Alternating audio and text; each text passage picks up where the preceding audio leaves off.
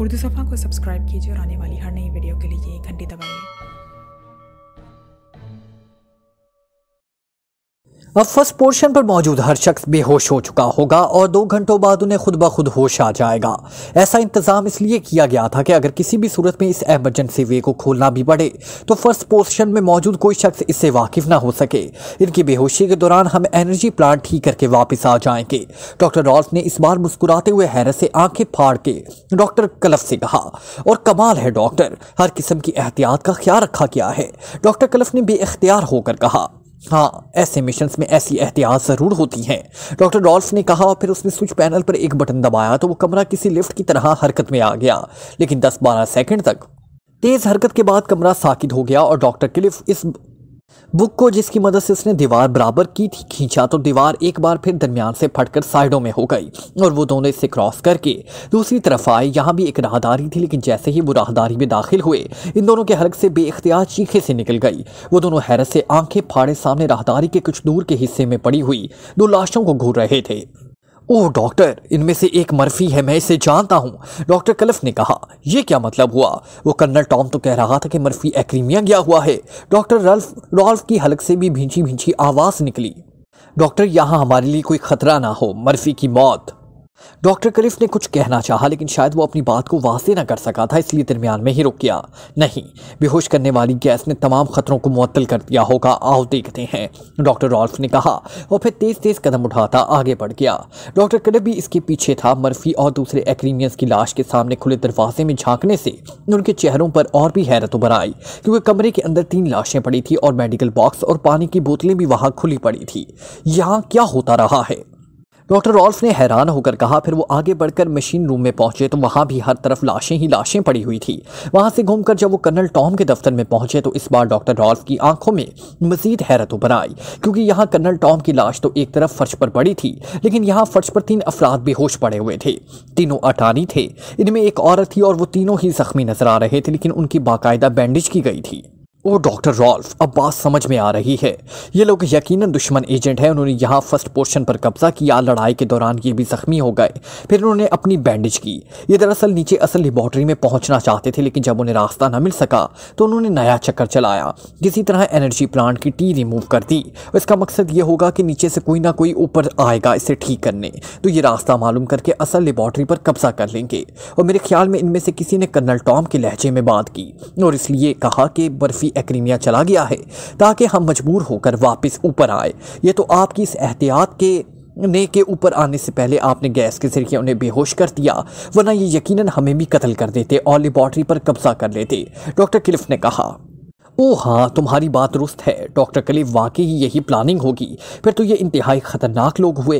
उन्हें तो फ़ौरन हलाक कर देना चाहिए। यहाँ मशीन गन पड़ी है, उठाओ और भून डालो उन्हें। डॉक्टर रॉल्फ ने सर हिलाते हुए कहा मैं? मगर मैं तो कभी किसी इंसान को नहीं मारा। डॉक्टर क्लिफ ने घबरा कर दो कदम पीछे हटते हुए कहा, ओह, यू नॉनसेंस ये इंसान नहीं, दुश्मन है। लेबॉर्ट्री तबाह करने आए हैं, मुझे दिखाओ मशीन गन डॉक्टर रॉल्फ ने इंतहाई गुस्सेले लहजे में कहा और डॉक्टर कलिफ ने एक तरफ़ पड़ी हुई मशीन गन उठाई और बूढ़े डॉक्टर रॉल्फ के हाथ में पकड़ा दी पहले सर एनर्जी प्लांट की टी ग्रुप तो ढूंढ लें। शायद उन्होंने कहीं छुपा दी है। मरने के बाद मिले ही ना। डॉक्टर क्लिफ ने कहा और डॉक्टर रॉल्फ पे इख्तियार चौंक पड़ा। ओ हाँ तुम ठीक कह रहे हो, लाजमन उनकी जेबों में। होगी। अगर वो ना मिली तो फिर तो वैसे ही सारा मिशन खराब हो जाएगा। अब तक की तमाम मेहनत पर पानी फिर जाएगा, तलाशी लो इनकी। वो फिर इनकी तलाशी लेने लगा। इनके पास तो नहीं है, सर। वैसे हो सकता है उन्होंने वहीं छुपा रखी हो। पहले प्लांट तो देख लें, उनको अभी होश तो नहीं आ सकता, डॉक्टर क्लिफ ने कहा। हाँ आओ, ये अभी तीन चार घंटे होश में नहीं आ सकते, डॉक्टर रॉल्फ ने कहा और मशीन गन वहीं रख कर वो तेज़ी से वापस मुड़ा। डॉक्टर क्लिफ के चेहरे पर एतमान के तासुरात उभर आए क्योंकि उसका दिल बर्दाश्त ना कर पा रहा था। कि तीन इंसानों को चाहे वो दुश्मन क्यों ना हो, उसकी आँखों के सामने हला कर दिया जाए और इस मामले में इंतहाई हसास दिल का मालिक था। इंसान तो एक उसने आज तक किसी चिड़िया को ना मारा था। एनर्जी प्लांट का सील्ड गेट खुला हुआ था और फिर अंदर दाखिल होकर वो दोनों हैरत से आज सेक्शन को घूरने लगे, क्योंकि वाकई ही टी ग्रुप अपनी जगह से निकाल ली गई थी। ये एक छोटा सा पुरसा था, लेकिन इस वक्त इस पुर्जे की गैर मौजूदगी से उनकी जदीद मशीनरी बेकार हो गई थी और उनकी जानवर बनाई थी। ओहो ढूंढो इसे, डॉक्टर रॉल्फ ने तीस लहजे में कहा और ख़ुद भी इधर उधर निगाहें दौड़ाने लगा। डॉक्टर क्लिफ ने भी उसे ढूंढना शुरू किया, लेकिन अच्छी तरह तलाश कर लेने के बावजूद वो नाकाम रहे। उन्हें ये ग्रुप देनी पड़ेगी, वरना उनकी बोटियाँ उड़ा दूँगा। तुम यहीं ठहरो, डॉक्टर क्लिफ। मैं जाकर डॉक्टर ऑस्टन को बुला लाता हूँ। वो इन मामला में बेहद होशियार है। उनसे उगलवा लेगा। डॉक्टर रॉल्फ ने प्लांट से बाहर निकलते हुए कहा और डॉक्टर क्लिफ ने असमात में सर हिला दिया। डॉक्टर रॉल्फ तेज तेज कदम उठाता दोबारा इस लिफ्ट की तरफ़ बढ़ गया, जबकि डॉक्टर क्लिफ का कर्नल टॉम के दफ्तर की तरफ़ बढ़ गया, जहाँ वो तीनों अफराद बेहोश पड़े हुए थे। टाइगर की आँखें एक झटके से खुली और उसके साथ ही उसके पूरे जिसम में रथ की तेज लहर सी दौड़ गई। उसने देखा कि वो रस्सियों के साथ एक सतून से बंधा हुआ खड़ा था। एक नौजवान जिसके हाथ में सुरंज थी, पीछे हट रहा था। वो एक बड़े से कमरे में था। उसके सामने एक बूढ़ा और एक तनुमंद जिसम और भारी चेहरे वाला आदमी खड़ा था। इस नौजवान समेत इन तीनों ने सूटों पर सफ़ेद ओवरऑल पहने रखे हुए थे। तनुमंद आदमी के हाथ में मशीन गन थी। टाइगर ने देखा कि इमरान और सागोरी इस कमरे में मौजूद न थे। तुम्हें होश आ गया। क्या नाम है तुम्हारा? बूढ़े ने आगे बढ़कर इंतहाई करख लहजे में कहा, मेरा नाम टाइगर है। टाइगर ने जवाब देते हुए कहा, तुमने एनर्जी प्लांट के आई सेक्शन से टी ग्रुप निकाली है। कहा है? इस बूढ़े ने कहा, मैं तो नाम ही तुम्हारे मुँह से सुन रहा हूँ। मुझे क्या मालूम? टाइगर ने मुँह बनाते हुए जवाब दिया, डॉक्टर रॉल्फ, आप एक तरफ़ हट जाए, मैं अभी इससे सब कुछ उगलवा लेता हूँ। इस तनवीर, तनोमंद आदमी ने बूढ़े से मुखातिब होकर कहा, और टाइगर समझ गया कि यही बूढ़ा इस लेबॉर्ट्री का बड़ा साइंसदान है। हो सकता है डॉक्टर ऑस्टन इस आदमी के बजाय इसके साथी ने यह ग्रिप निकाली हो। उसे मालूम था कि उसे क्यों ना होश में लाया जाए। डॉक्टर रॉल्फ ने मुड़कर इस तनोमंद आदमी से मुखातिब होकर कहा, सर, ये सीक्रेट एजेंट टाइप लोग हैं, मेरा एक दोस्त सीक्रेट एजेंट है। उसकी वजह से मेरा भी इस सर्विस से काफ़ी ताल्लुक रहा है। मैं उन्हें अच्छी तरह जानता हूँ, ये इंतहाई सख्त जान किस्म के लोग होते हैं।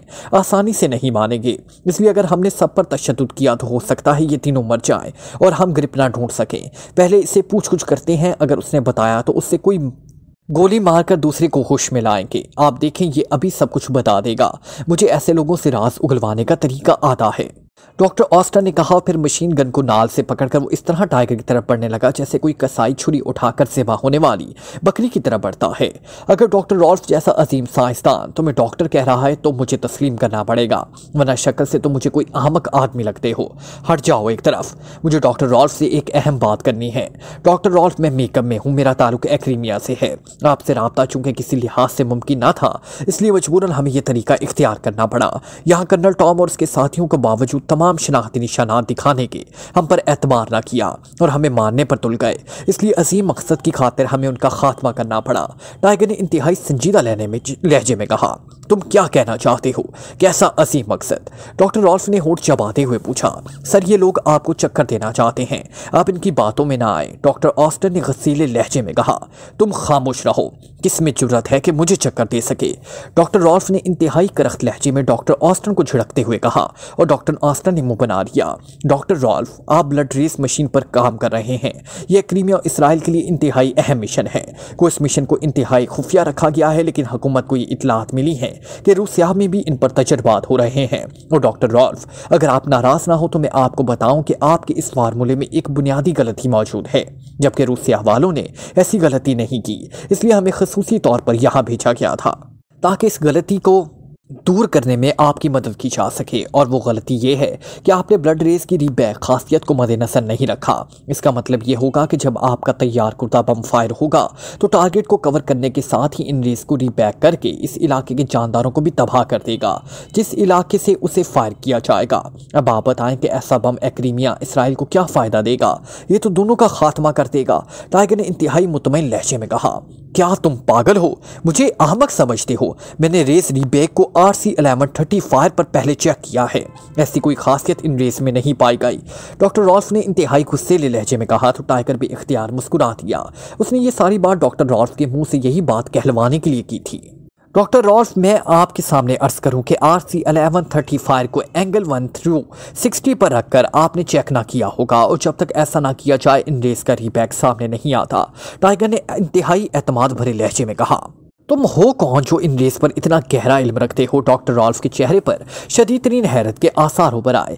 आप मुझे नहीं जानते क्योंकि मुझे रूसिया वाले कई साल पहले अगवा करके खुफिया लेबॉर्ट्री में ले गए थे और छः माह हुए हैं। मुझे वहाँ से फरार होने का मौका मिला है और मैंने ही एक्रीमियन हुकूमत को इन रेस के बारे में रूसियाई रिसर्च की इतला दी, जिस पर उन्होंने बताया कि डॉक्टर रॉल्फ भी इन पर रिसर्च कर रहे हैं, लेकिन आपने जो बुनियादी फार्मूला डिस्कस किया है, इसमें इस रीबैक की तरफ़ कोई इशारा ना था। इसलिए मैंने जब इस पहलू पर बात की तो तो हुकूमत बेहद परेशान हो गई। इसलिए बॉटी का सिस्टम ऐसा रखा गया था कि आपसे किसी तरह भी कोई ताल्लुक ना हो सकता था। इसलिए मजबूरन मुझे मकामी अफराद की मदद लेनी पड़ी और हम यहाँ दाखिल हो गए। ओहो वेरी बैड तुम इतने बड़े साइंसदान हो और हमने तुम्हें बाँध रखा है। डॉक्टर ऑस्टन फ़ौरन खोलो, उन्हें जल्दी करो। डॉक्टर रॉल्फ ने चीखते हुए कहा यस सर डॉक्टर ऑस्टन ने होंठ चबाते हुए कहा, जल्दी से आगे बढ़कर उसने रस्सियाँ खोलनी शुरू कर दी। चलना मुबार टाइगर आज़ाद हो चुका था। मेरे साथी कहाँ हैं? टाइगर ने पूछा। वो बेहोश पड़े हैं, उन्हें छोड़ो, तुम मेरे साथ चलो, लेबॉर्ट्री ताकि मैं तुम्हारे सामने ये रीबैक चेक करूँ। और टी ग्रुप कहा है? डॉक्टर रॉल्फ ने कहा, वही एनर्जी प्लांट में मौजूद है। आइए मेरे साथ टाइगर ने सर हिलाते हुए कहा, और दरवाजे की तरफ़ बढ़ गया। हम बेहोश कैसे हुए थे? डॉक्टर, मेरा ख्याल है कि हम पर हीलियम गैस फायर की गई थी। टाइगर ने कहा हाँ एहतियातन ऐसा किया गया था, लेकिन तुमने मुझे बेहद मुतासर किया है। लेकिन तुमने नाम क्या बताया था? डॉक्टर रॉल्फ ने बड़े तहसीन आमेज लहजे में कहा, मेरा नाम टाइगर है। टाइगर ने मुस्कुराते हुए कहा यह कैसा नाम है? मेरे ख्याल में आज तक किसी साइंसदान का ऐसा नाम नहीं सुना। तुम शायद अपना असल नाम छुपा रहे हो। कमरे के दरवाजे पर रुककर डॉक्टर रॉल्फ ने कहा, बस बचपन ही से प्यार से ये नाम रखा गया था और अभी यही है, टाइगर ने सर हिलाते हुए कहा। डॉक्टर रॉल्फ अपने पीछे आने वाले डॉक्टर ऑस्टन और दूसरे नौजवानों की तरफ़ मुड़ गया। सुनो डॉक्टर क्लिफ, तुम साइंसदान टाइगर के साथियों को होश में लाकर यहाँ ले आओ। अब ये लोग हमारे मुआस मेहमान हैं। दुश्मन नहीं है और डॉक्टर ऑस्टन, तुम अभी तक मशीन गन उठाए हुए हो। अब इसकी क्या ज़रूरत है, उसे यहीं रख दो। मुझे इसे देखकर वहशत सी होती है। डॉक्टर रॉल्फ ने डॉक्टर ऑस्टन से मुखातिब होकर इंतहाई सख्त लहजे में कहा और फिर दरवाजे की तरफ़ बढ़कर तेज तेज कदम उठाता अंदर दाखिल हो गया। टाइगर मुस्कुराता हुआ, उसके पीछे कमरे की तरफ़ बढ़ा। डॉक्टर ऑस्टन उसके पीछे था कि अचानक टाइगर के सर पर जोरदार धमाका हुआ और टाइगर पे इख्तियार चीख कर लड़खड़ा गया। उसके जहन में यकलख्त रंग बिरंगे सितारे नाचने लगे। अभी इन सितारों का नाच शुरू ही हुआ था कि एक और धमाका हुआ और रंग बिरंगे सितारे यकलख तारीकी में डूब गए। फिर टाइगर के सर में एक और धमाका हुआ, लेकिन इस धमाके ने उनकी तारीकी जहन में रोशनी पैदा की। उसके साथ ही उसे होश आ गया, लेकिन होश में आते ही उसने अपने दाएँ चबड़े में दर्द की तेज तेज महसूस की और मुँह में खून का जायका भी महसूस हुआ। उसे फ़ौरन ही एहसास हो गया कि उसके दाएँ जबड़े में जोरदार सरब लगी है। अभी इतना काफ़ी है। डॉक्टर ऑस्टन उसे किस्तों में मरना होगा। इसने मुझे अहमक समझ रखा था। डॉक्टर रॉल्फ ने बड़े तनसिया लहजे में कहा, और डॉक्टर ऑस्टन कदम उठाता पीछे हटा, और डॉक्टर रॉल्फ के साथ खड़ा हो गया। टाइगर के होंठ भींच गए, और उसके दिल में डॉक्टर रॉल्फ के खिलाफ इंतकाम का ज़बरदस्त, मुलावा सा फूट पड़ा। उसने देखा कि वो एक बार फिर रस्सियों से बंधा हुआ बड़े कतर के गोल सतून से बंद कर खड़ा था। डॉक्टर रॉल्फ, मुझे अंदाज़ा ना था कि तुम इस सदी के सबसे बड़े अहमक हो। बहरहाल, तुम्हें अपनी इस हमाकत का खुमियाजा जल्दी भुगतना पड़ेगा। टाइगर ने होठ चबाते हुए कहा डॉक्टर राल्फ खिलखिलाकर हंस पड़ा। तुम शायद समझ रहे थे कि मैं सिर्फ़ साइंसदान हूँ, एक बूढ़ा साइंसदान, जिसकी सारी उम्र लेबॉर्ट्रियों में गैसों और रेस पर तजर्बात करते गुजर गई। ऐसी कोई बात नहीं, मिस्टर टाइगर। मैंने तवील अरसे तक साइंसदान होने के बावजूद ऐसे इदारे में काम किया है, जहाँ दुश्मन एजेंटों से रास उगलवाए जाते थे। तुम इसे टॉर्चर सेल कह सकते हो। मैं वहाँ इंसानी हड्डियों के अंदर मौजूद एक अंसर पर साइंसी तहकीकात करता था, और इंसानी हड्डियाँ हासिल करने का वहाँ इदारा भी था, और जहाँ तक तुम्हारी इस गुफ्तगु का ताल्लुक है, तुम्हें लेबॉर्ट्री की असल माहियत का इल्म नहीं।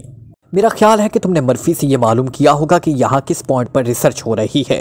और से जितना इल्म था, उसने बता दिया। बहरहाल ये मैं तुम्हें बता दूँ कि ब्लड रीस में रीबैक वाला मसला है ही नहीं। मेरे लिए असल मसला टी ग्रुप का हसूल था, क्योंकि टी ग्रुप एक ऐसा पुर्जा है जो मिल ही नहीं सकता, ना बनवाया जा सकता है। इसलिए एनर्जी प्लांट का पूरा आई सेक्शन में तब्दील करना पड़ता, जो ज़ाहिर है एक्रीमिया में हो सकता था। इस तरह अब तक की गई मेरी सारी मेहनत ज़ाया हो जाती। तुम जैसे एजेंट तशद से मुँह नहीं खोलते, इसलिए मुझे ये तरीका का इस्तेमाल करना पड़ा और तुमने देखा कि किस तरह मैंने एनर्जी प्लांट चालू करा लिया। बाकी डॉक्टर ऑस्टन मेरा इशारा समझ गया था, क्योंकि डॉक्टर ऑस्टन मेरे साथ ही इस टॉर्चर सेल में काम कर चुका है। नतीजा ये कि तुम एक बार फिर अपनी पुरानी हालत में पहुँच चुके हो। डॉक्टर ऑल्फ ने लुत्फ ले लेकर तफसील बताते हुए कहा, और टाइगर को महसूस हुआ कि वो इस बूढ़े डॉक्टर के हाथों में, हकीकी मानों में बेवकूफ़ बन गया है। डॉक्टर रॉल्फ आदमी हमेशा खुशफहमी में ही मार खाता है। डॉक्टर ऑस्टन इसे गोलियों से उड़ा दो। उड़ा दो इसे गोलियों से। डॉक्टर रॉल्फ यकलख्त कुर्सी से उछलकर खड़ा हुआ और पागलों के से अंदाज में चीखने लगा। Yes, sir. डॉक्टर ऑस्टन ने तेज लहजे में कहा और हाथ में मशीन गन का रुख इसने टाइगर की तरफ़ किया और फिर ट्रिगर दबा दिया। टाइगर पहले ही जहनी तौर पर इस सूरत हाल के लिए तैयार था, इसलिए जैसे ही मशीन गन सीधी हुई और डॉक्टर ऑस्टन की उंगली ट्रिगर पर हरकत में आई। टाइगर का जिसम बिजली की तेज़ी से गोल सतून के साथ घूमता हुआ उसकी दूसरी तरफ़ चला गया और मशीन गन से निकलने वाली गोलियों का ब्रस्ट उसके सतून से टकराया, लेकिन अब जिस जगह टाइगर मौजूद था, वहाँ टाइगर की बजाय उसके जिसम के साथ बंधी हुई रस्सियाँ उन्हें ले ली थी। नतीजा ये हुआ कि रिट्रेट की आवाज़ के साथ ही रस्सियाँ कट गई और टाइगर पूरी कुत से उछला और सतून की ओट लेकर पलक झपकने में वो उकबी सतून की दूसरी तरफ़ पहुँच गया। इन लोगों ने चूँकि उसे इस बड़े गोल सतून के साथ इंतहाई अजीब अंदाज में बांधा था, इसलिए वो अस खुद कुर्सियाँ और रस्सियाँ ना काट सकता था। इसके बाजू जिसम के साथ ही रखकर उसे सतून के साथ बांधा गया था, वरना टाइगर ने अपने नाखूनों में इमरान की तरह ब्लेड लगवाए हुए थे। इससे पहले जब कर्नल टॉम उसे और इमरान को कुर्सियों से बांधा था तो जिस तरह इमरान ने ब्लेडों की मदद से रस्सियाँ काट दी थी और कर्नल टॉम को इसकी दोस्ती का सबूत देने के लिए उठकर उसने हंटर छीन कर वापस कर दिया था। टाइगर भी ब्लेडों से ही रस्सियाँ काट कर उठा था, लेकिन अब चूँकि उसके हाथ जिसम के साथ लगे हुए थे और ऊपर से रस्सियाँ बांधी गई थी, इसलिए वो ब्लेडों का इस्तेमाल ना कर सकता था। इसलिए उसने जानबूझकर डॉक्टर रॉल्फ को उकसाया ताकि इस तरह मशीन गन की मदद से वो रस्सियाँ कटवा सके। सतून काफ़ी बड़ा और गोल था, इसलिए टाइगर को यकीन था कि वो अपनी इस तरकीब में कामयाब रहेगा। और वही हुआ, वो ना सिर्फ़ आज़ाद हो गया था, बल्कि जब तक डॉक्टर ऑस्टन फायर रोककर साइड पर होता, टाइगर दूसरे बड़े सतून की ओट में जा चुका था। डॉक्टर ऑस्टन उसे इस तरह सतून के पीछे गायब होता देखकर, फायरिंग रोककर उसी तरह मशीन गन उठाए, उसी सतून की साइड पर दौड़ पड़ा, जिस सतून के पीछे टाइगर मौजूद था। लेकिन अभी उसने दो ही कदम उठाए होंगे कि यकलक टाइगर सतून के पीछे से निकलकर किसी भूखे उकाब की तरह उड़ता हुआ, पूरी कुआ से अपनी तरफ़ दौड़कर आते हुए डॉक्टर ऑस्टन से टकराया और उसने इसे लिए हुए एक जोरदार धमाके से नीचे गिरा। मशीन गन डॉक्टर ऑस्टन के हाथों से निकलकर एक तरफ़ जा गिरी। टाइगर ने नीचे गिरते ही तेज़ी से कलाबाजी खाकर उठने की कोशिश की, लेकिन डॉक्टर ऑस्टन ने यकलख्त अपनी दोनों टांगे उसके जिसम के गिर डालकर उसे एक तरह शिकंजे में जकड़ने की कोशिश की, लेकिन टाइगर बिजली की सी तेज़ी से उछला, लेकिन उसी लम्हे रिट की आवाज़ के साथ कमरा गुंज उठा और गोलियों की धार से टाइगर के जिस्म के करीब से गुजरती हुई। फट से उठने की कोशिश करते हुए डॉक्टर ऑस्टन को चाट गई। टाइगर की जान उसकी अचानक कलाबाजी खाकर फिजा में उठने की वजह से बच गई थी। टाइगर ने कलाबाजी खाकर वापस ज़मीन में आने की बजाय यकरख्त अपने जिसम को झटका दिया और पलक झपकने में वो डॉक्टर रॉल्फ जो कि डॉक्टर ऑस्टन की मशीन गन पर कब्जा करके इस पर फायर कर रहा था कि सर के ऊपर से होता हुआ उकम जाकर खड़ा हो गया। वो जानता था कि इसके बचने की सूरत एक यही सूरत है, क्योंकि डॉक्टर रॉल्फ फ्लाइंग फायरिंग करते हुए हाथ को मसीद ऊँचा करेगा और टाइगर का जिसम छलनी होकर रह जाएगा। फिर इसके पास यही हल था कि वो डॉक्टर रॉल्फ के बुढ़ापे से फ़ायदा उठाते हुए उसके हाथ ऊँचा करने से पहले उड़ता हुआ उसके उकम में पहुँच जाए। और जब तक डॉक्टर रॉल्फ घूमेगा, वो समझ चुका होगा, लेकिन डॉक्टर रॉल्फ उसके तस्वुर से ज़्यादा होशियार निकला। जैसे ही टाइगर का जिसम उसके सर से ऊपर से गुजरा, उसने बजाय घूमकर टाइगर पर फायर करने की बिजली किसी तेज़ी से खुले दरवाजे की तरफ़ छलाक लगा दी। और टाइगर कदम जैसे ही ज़मीन पर लगे, वो भी तेज़ी से उसके पीछे झपटा, लेकिन डॉक्टर रॉल्फ गायब हो चुका था। उसकी मशीन गन भी बाहर राहदारी में पड़ी हुई मिल गई थी। शायद उसे वज़न उठाकर दौड़ने में तकलीफ़ हो रही थी, इसलिए वो उसे फेंक गया टाइगर मशीन गन की वजह से उसके पीछे अंधाधुंध दौड़ने में मोहतात अंधाधुंध दौड़ने में मोहतात था, लेकिन मशीन गन नज़र आ जाने के बाद उसके पैरों में जैसे पंखे से लग गए। डॉक्टर रॉल्फ उसे एक लम्हे के लिए इस राहदारी में नज़र आया, जिस पर मर्फी और विल्सन की लाशें पड़ी थी। इसके बाद वो यकलख्त गायब हो गया था। टाइगर पहले उसे ढूंढता रहा, लेकिन फिर दौड़ता हुआ कर्नल टॉम के दफ्तर की तरफ़ बढ़ गया। क्योंकि फायरिंग के बावजूद डॉक्टर क्लिफ उसे नज़र न आया। इसने कर्नल टॉम के दफ्तर में पहुंचकर सबसे पहले इमरान और सागोरी के चेहरों पर गैस मास्क चढ़ाए, फिर उन्हें बेहोशी की गैस का एंटी महलूल इंजेक्ट कर दिया। चंद लम्बों बाद उनके जिस्मों में हरकत पैदा होने लगी और टाइगर ने आगे बढ़कर दोनों के गैस मास्क में मेन फिट इंटर ट्रांसमीटरों के बटन ऑन कर दिए। इमरान साहब गैस मास्क ना उतारिएगा, वरना आप दोबारा बेहोश हो जाएँगे। टाइगर ने इमरान की आँख गैस मास्क के शफाफ शीशे के अंदर खुलती देखकर अपने इंटर ट्रांसमीटर को ऑन करते हुए कहा यह आखिर हो क्या रहा है? इस बार तो हमने शायद बेहोश होने का रिकॉर्ड तोड़ दिया है।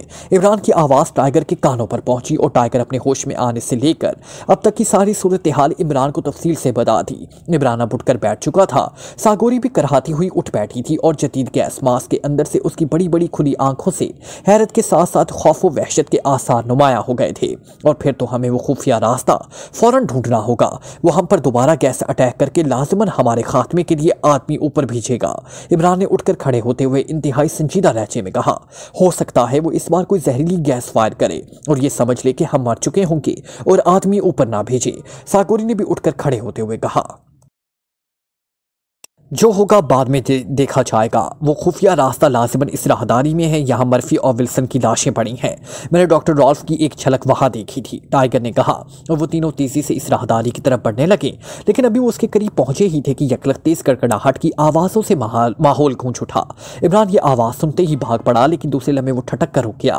क्योंकि राहदारी जिसमें मर्फी और विल्सन की लाशें पड़ी थी वो जहाँ से रास्ता एनर्जी प्लांट और इस कमरे को जाता था जहाँ असले का स्टोर और मेडिकल बॉक्सेस वगैरह मौजूद थे। दरमियान में एक सिंगी दीवार आ जाने की वजह से हलाक हो चुका था। बुलाक हो चुका था। ये गिड़गिड़ाहट की आवाज़ें इस सिंगी दीवार के पैदा होने पर सुनाई दी थी। वो अब वो एक लिहाज से इस राहदारी में, जिसमें कर्नल टॉम का दफ्तर था महसूर होकर रह गए थे और उसके पास सिवाय एक मशीन गन के और दूसरा असला भी ना था, जिससे वो इस दीवार को तोड़ सकते। मशीन रूम तक भी वो ना पहुँच सकते थे, वरना लेबॉर्ट्री से बाहर ही निकल जाते। अब क्या होगा? सागोरी की दहशत भरी आवाज़ सुनाई थी। पुलाव खाएँगे, अहबाब, और फातिया होगा। यहाँ ना पीने का पानी है, ना खुराक। इसलिए जहरीली गैस से ना मरे तो भूख प्यास से एड़ियाँ रगड़ रगड़ कर मर जाएँगे। इमरान ने संजीदा लहजे में जवाब दिया, लेकिन इसकी पेशानी पर उभर आने वाली शिकने बता रही थी कि सूरत हाल उनके खिलाफ इंतहाई नाजुक हो चुकी थी।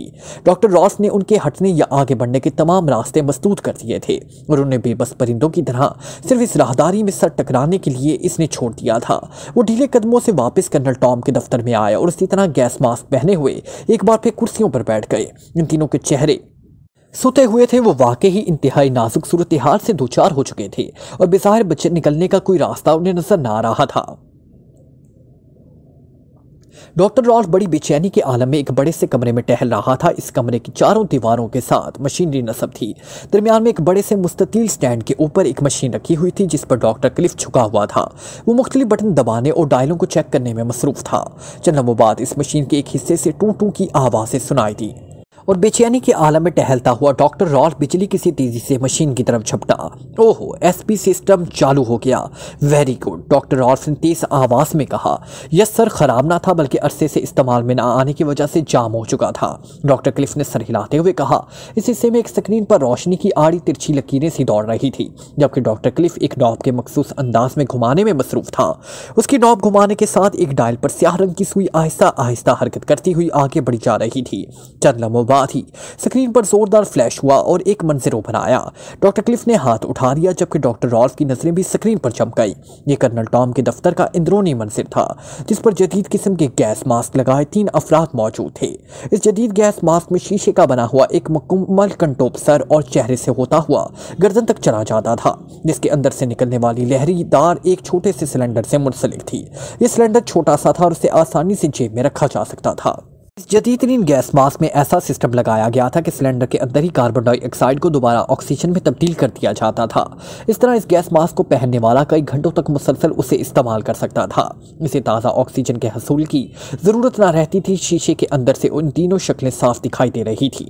इनमें एक तो वो टाइगर था जिसने हैरत अंगेज तौर पर अपने आप को रस्सियों से आज़ाद करा दिया और फिर डॉक्टर ऑस्टन के खात्मे का मौजब बना और डॉक्टर रॉल्फ को वहाँ से फौरी तौर पर फरार होकर लेबॉर्ट्री में आना पड़ा। डॉक्टर क्लफ वहाँ फंस जाता लेकिन उसे अचानक एक मशीन का ख्याल आ गया, जो एनर्जी प्लांट के चालू होने की वजह से खराब हो सकती थी, क्योंकि चेकिंग के वक्त उसने उसे खुला छोड़ दिया था। खुफिया रास्ते चूँकि खुला हुआ था, इसलिए उसने सोचा कि वो फौरी तौर पर जाकर इस मशीन को ऑफ़ कराए, क्योंकि अगर डॉक्टर रॉल्फ के इलम में ये कोताही आ गई तो डॉक्टर रॉल्फ उसके खिलाफ सख्त तरीन एक्शन लेने में गुरेज ना करेगा, क्योंकि वो डॉक्टर रॉल्फ की आदत से बखूबी वाकिफ था। वो इन मामला में बेहद सख्त और असूल पसंद था, लेकिन अभी वो मशीन बंद करके वापस जाने के लिए लिफ्ट के पास पहुँचा ही था। कि उसने डॉक्टर रॉल्फ को दहशत भरे अंदाज में लिफ्ट से आते देखा उसके साथ ही डॉक्टर रॉल्फ ने न सिर्फ़ उसे खतिया रास्ते का बंद कर दिया, बल्कि वो डॉक्टर क्लिफ से बात किए बगैर पागलों के से अंदाज में दौड़ता हुआ स्पेशल सेक्शन की तरफ़ बढ़ गया। ज़ाहिर है, अब डॉक्टर क्लिफ के ऊपर जाने का कोई जवाब बाकी ना रहा था। और फिर डॉक्टर रॉल्फ की हालत ऐसी थी कि डॉक्टर क्लिफ को मजबूरन उसके पीछे जाना पड़ा। डॉक्टर रॉल्फ स्पेशल सेक्शन के एक मशीन पर झुका हुआ था और जब तक डॉक्टर क्लिफ उसके करीब पहुँचता, वो उसे ऑन कर चुका था।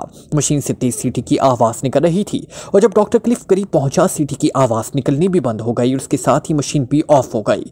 डॉक्टर रॉल्फ अब सीधा होकर लंबे लंबे साथ इस तरह ले रहा था जैसे कई मीलों से मुसलसल दौड़ता आ रहा हो। डॉक्टर हास्टन हलाक हो गया है और मैं बड़ी मुश्किल से इस खौफनाक टाइगर की गिरफ्त से निकल कर यहाँ आया हूँ। ये तो इंतहाई ख़तरनाक लोग हैं लेकिन लेकिन अब मैंने उन्हें कैद कर लिया है। इ, इ, इनके बाहर निकलने या नीचे आने और एनर्जी प्लांट को दोबारा बेकार करने के सारे रास्ते मस्तूद कर दिए हैं डॉक्टर रॉल्फ ने कहा। उसके साथ ही उसने मुख्तसर तौर पर पिछली तफसील भी बता दी। ओहो अब क्या होगा सर? डॉक्टर क्लिफ ने कहा। तुम तुम मेरे साथ चलो। अब हमें एसबी सिस्टम ऑन करके उन्हें चेक करना है। फिर मैं फैसला करूँगा कि उन्हें किस तरह हलाक किया जाए। डॉक्टर रॉल्फ ने कहा और वो दोनों इस सेक्शन में आ गए, जहाँ एसपी सिस्टम वाली मशीन मौजूद थी। डॉक्टर क्लिफ ने उसे ऑपरेट करना शुरू किया, लेकिन वो काम ही ना कर रहा था। डॉक्टर क्लिफ मुसलसल कोशिशों में लगा रहा, जबकि डॉक्टर रॉल्फ बेचैनी से वहीं टहलने लगा। फिर अचानक एसपी सिस्टम ऑन हो गया। इस सिस्टम के तहत वो लेबॉर्ट्री में किसी भी जगह को स्क्रीन पर इस तरह चेक कर सकते थे कि वहाँ मौजूद अफराद को इसका इल्म भी ना हो सकता था। लोगों ने तो मास्क पहन लिए हैं तो अब इन पर कोई गैस भी असर ना करेगी। अब इनका खात्मा किस तरह किया जाए? डॉक्टर रॉल्फ ने होंठ चबाते हुए कहा, सर, उन्हें उनके हाल पर क्यों ना छोड़ दिया जाए? यहाँ ना कुछ ही पीने के लिए है और ना ही कुछ खाने के लिए उनको मिलेगा, और वो कब तक ज़िंदा रह सकेंगे खाए पिए बगैर? डॉक्टर क्लिफ ने राय देते हुए कहा, नहीं, अब मुझे एहसास हो गया है कि ये इंतहाई खतरनाक लोग हैं। उनकी ज़िंदगी हमारे मिशन के लिए किसी भी लम्हे तबाहकुन हो सकती है। इसलिए जब तक इनका खात्मा ना हो जाएगा, मैं काम कर ही ना सकूँगा। डॉक्टर रॉस ने इनकार में सर हिलाते हुए कहा, फिर डॉक्टर इस तरह करे कि हम सब मिलकर इन पर हमला कर दें। हमारे पचास के करीब अफराद हैं, ये तीन हमारा क्या बिगाड़ लेंगे? डॉक्टर क्लिफ ने कहा, तुम खामोश रहो और मुझे कुछ सोचने दो। तुम सिर्फ़ साइंसदान हो, इसलिए तुम्हें मालूम ही नहीं कि ये लोग किस तरह काम करते हैं। इसकी पेशानी में पहले से मौजूद बेशुमार शिकनों में मजीद इजाफा हो गया था। एक तो मुसीबत यह है कि हम यहाँ से कोई काल एक्रीमिया कर ही नहीं सकते, वरना वहाँ से टीम मंगवा लेते। मैंने तो इसलिए ये सारा सेटअप किया था कि ना किसी को हमसे रबता रहेगा और ना हम किसी से रबता करेंगे। इस तरह लेबॉर्ट्री मुकम्मल तौर पर महफूज रहेगी। लेकिन अब मुझे ख्याल आ रहा है कि मेरी ऐसी सोच हमाकत थी बहरहाल। डॉक्टर रॉल्फ ने टहलते हुए बड़बड़ाकर अपने आप से कहा और फिर खामोश होकर बैठने लगा। अरे हाँ अब एक काम हो सकता है। ओह वेरी गुड अब इसके सिवा और कोई चारा नहीं है। डॉक्टर रॉस ने यकलक चौंक कर वो क्या सर? डॉक्टर क्लिफ ने भी चौंक कर पूछा, उन्हें इस लेबॉर्ट्री से बाहर धकेला जा सकता है। ये किस तरह बाहर जाएँगे? डॉक्टर क्लिफ ने हैरान होकर पूछा। आओ मेरे साथ, डॉक्टर रॉस ने तेज लहचे में कहा। और फिर तेज तेज कदम उठाता वो वापस स्पेशल सेक्शन में पहुँच गया। उसने उसकी उसी मशीन को जिसमें पहले उसने ऑपरेट किया था, दोबारा ऑपरेट करना शुरू कर दिया। वो काफ़ी देर तक मुख्तलिफ़ डायलों पर, मुख्तलिफ़ नंबर एडजस्ट करता रहा, फिर उसने एक झटके से सुर्ख रंग के हैंडल को नीचे किया। तो मशीन से एक बार फिर सीटी की आवाज़ निकलने लगी, जो आहिस्ता आहिस्ता मदम होते हुए ख़त्म हो गई। अब आओ एसबी सिस्टम स्क्रीन पर देखते हैं। डॉक्टर रॉल्फ ने हाथ पीछे हटाते हुए कहा और तेज़ी से बिरूरी दरवाजे की तरफ़ बढ़ गया। डॉक्टर क्लिफ सर हिलाता हुआ उसके पीछे था। एसपी सिस्टम की स्क्रीन अभी तक रोशन थी, लेकिन अब स्क्रीन पर खाली कमरे का मंजर नज़र आ रहा था, जिसकी एक दीवार गायब थी और वहाँ बस तेज रोशनी कमरे के अंदर दिखाई दे रही थी। वाह, देखा, इसकी दाएँ दीवार मैंने हटा दी, चूँकि यह कमरा सबसे आखिर में है, इसलिए यहाँ से रास्ता बाहर निकल जाता है और ये तीनों रास्ते खुलते ही अपनी मजबूरी की बिना पर बाहर निकल गए हैं। अब तुम जाकर इस मशीन का सुर्ख रंग का हैंडल प्रेस कर दो। ठीक है सर, ये वाकई बाहर चली गई है। अब मैं दीवार बराबर कर देता हूँ। डॉक्टर क्लिफ ने तेज लहचे में कहा और दौड़ता हुआ वहाँ से दरवाजे की तरफ़ बढ़ गया। डॉक्टर रॉल्फ ने आगे बढ़कर सिस्टम को दोबारा ऑपरेट करना शुरू कर दिया। जब स्क्रीन पर दोबारा कर्नल टॉम के दफ्तर वाला सीन फिक्स हुआ तो उसने हाथ हटा लिया। चल वो बात ही स्क्रीन पर कमरे की दाइन दीवार तेज़ी से ज़मीन से उबर कर छत तक पहुंचनी दिखाई दी और फिर कमरा पहले वाली हालत में आ गया और डॉक्टर रॉल्फ के चेहरे पर गहरे इतमान के तासुरात उबर आए। इसने जल्दी से सिस्टम को ऑफ़ किया और फिर एक बार बार फिर स्पेशल सेक्शन की तरफ़ बढ़ गया ताकि लेबॉर्ट्री को टीसी सील कर दिया जाए। जब वो स्पेशल सेक्शन में दाखिल हुआ तो डॉक्टर क्लिफ वापस आ रहा था। फिर उसने डॉक्टर क्लिफ की मदद से टीसी सील्ड मशीन को ऑपरेट किया और जब इसको कंप्यूटर स्क्रीन पर ओके के अल्फाज उभरे तो डॉक्टर रॉल्फ ने एतमान का एक तवील सांस लिया। अब ये लोग जो मर्ज़ी आए करते रहें, अब किसी सूरत भी लेबॉर्ट्री में दाखिल ना हो सकेंगे। आओ, अब अपने मिशन पर काम शुरू कर दें। डॉक्टर रॉल्फ ने एतमान भरे अंदाज में कहा, और डॉक्टर रॉल्फ ने भी सर हिला दिया और वो दोनों एक दूसरे के पीछे चलते हुए बिरूनी दरवाजे की तरफ़ बढ़ गए। अचानक तेज गड़गड़ाहट की आवाज़ सुनाई थी और इमरान और उसके साथी चौंक कर इस तरफ़ को मुड़े, जहाँ एक सुरंग नुमा हिस्से में से निकलकर वो बाहर वादी में पहुँचे थे। दूसरे लम्हे उनकी आँखों के सामने वो सुरंग नुमा हिस्सा सिंगी चट्टान की तरह हो गया। अब वहाँ कोई रास्ता मौजूद ना था। बहुत खूब, इसे कहते हैं जिला वतनी बल्कि जिला लेबॉर्ट्री। इमरान ने मुस्कुराते हुए कहा, मेरा ख्याल है अब हमें वापस दारकूमत चलना चाहिए। अब मैं हुकूमत को मजबूर करूँगी कि वो यहाँ फजाइया से बम्बारी करवाए और खौफनाक लेबॉर्ट्री को तबाह कर दे। सागोरी ने होंठ चबा बताते हुए कहा यह लेबॉर्ट्री आम बमों से तबाह नहीं हो सकती, मैडम साकोरी। इसके लिए तो खसूसी असलाह चाहिए इमरान ने मुस्कुराते हुए कहा। खसूसी असलाह?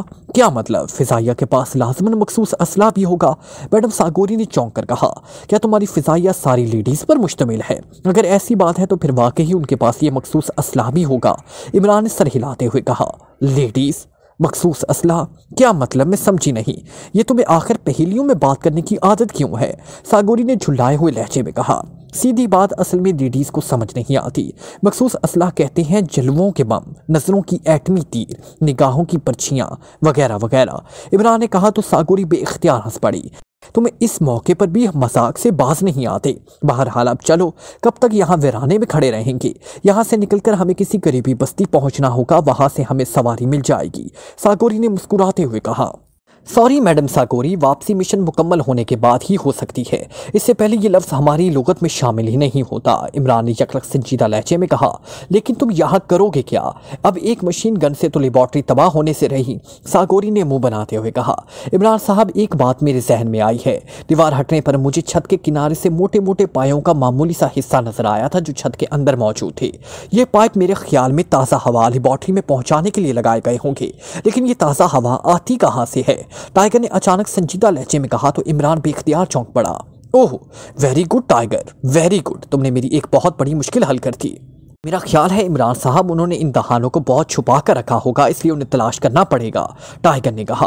और यहाँ छुपाने के लिए एक ही प्रोसेस है कि इस दहाने को किसी गार के अंदर छुपा दिया जाए, वरना तो इनके सिरे दूर से ही नज़र आ सकते हैं। लेकिन यहाँ बेशुमार गारें हैं किस किस को चेक करेंगे? इमरान ने तशवीश भरे लहजे में कहा हाँ वाकई ही बॉस लेकिन बाहर हाथ तलाश तो करना ही पड़ेगा। इसलिए क्यों ना हम तीनों मिलकर तीन सिमतें बांट लें और अलहदा अलहदा तलाश का काम शुरू कर दें? टाइगर ने कहा। नहीं, इस तरह बहुत वक्त ज़ाया हो सकता है और हो सकता है कि वो डॉक्टर रॉल्फ अब किसी मखसूस ट्रांसमीटर के ज़रिए एक्रीमिया या इसराइल से बात कर रहा हो। या अटान में ना सही किसी करीबी मुल्क में लाजिमन उनके एजेंट मौजूद होंगे, जो चंद घंटों में यहाँ पहुँच सकते हैं। इसलिए हमें ये काम फौरी करना होगा। ठहरो, मेरे जहन में एक तरीका आ रहा है। Oh, very good. वाकई ही सबसे बेहतर तरीका है। इमरान के लहजे में मुसरत थी। कौन सा तरीका, बॉस? टाइगर ने चौंक कर पूछा। मैडम, सागोरी भी हैरत भरे अंदाज में इन दोनों को देख रही थी, जो जख्मी और निहत्ते होने के बावजूद बावजूद वापस जाने के बजाय अपने मिशन की तकमील के तरीके सोचने में मसरूफ थे। ताज़ा हवा के लिए लाजमन उन्होंने शुमालन जनूबन हवा के कुदरती बहाव का ख्याल रखा होगा। इसलिए ताज़ा हवा वाला निज़ाम लाजमन लेबॉर्ट्री के जनूब में होना चाहिए। आओ मेरे साथ, इमरान ने कहा, और फिर तेज़ तेज़ कदम उठाता, वो जनूब की तरफ़ बढ़ता गया। जनूब में मौजूद पहाड़ी में बेशुमार गारों के दहाने नज़र आ रहे थे, और इतनी गारों को अगर वो चेक करना शुरू करते तो लाजमन हफ़्ते नहीं तो दिन ज़रूर लग जाते। लेकिन इमरान इतमान से पहाड़ी की तरफ़ बढ़ता गया, फिर उसने पहाड़ी की एक चट्टान के साथ अपना एक गाल चिपकाया और ऊपर चट्टान की सीध में देखने लगा।